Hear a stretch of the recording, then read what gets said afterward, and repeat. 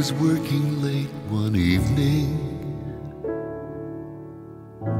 with the wood he knew so well. When she thought she recognized him, though at first she couldn't tell. As she humbly begged his pardon, a strange sadness swelled inside. When she asked, Aren't you the father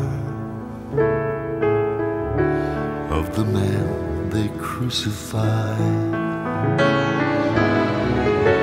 Then the carpenter repeated what he'd said so many times. Said, I was not his father. He was mine. Then he humbly went on working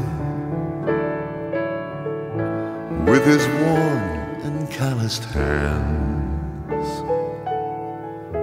Though she did not ask more questions, knew she didn't understand.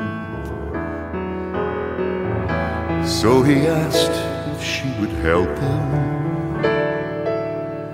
He saw her answer in a glance. And she did the chores he asked her. And she was grateful for the chance. Then they talked for hours of Jesus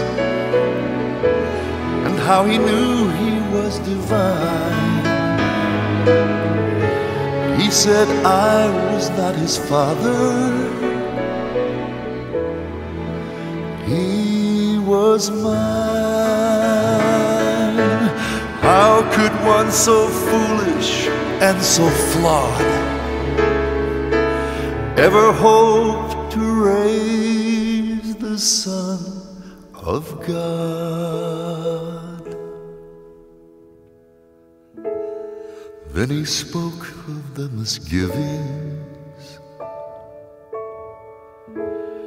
he had had a thousand times. Now Jesus found the tender moments to let him know he'd done just fine. Then the carpenter recited the greatest truths he'd ever learned and testified they came from Jesus. And then her heart within her burned. Then they embraced till she departed.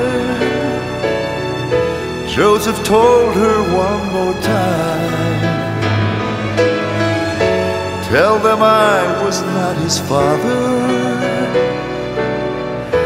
Tell them he was mine. No, I was not his father. He was mine.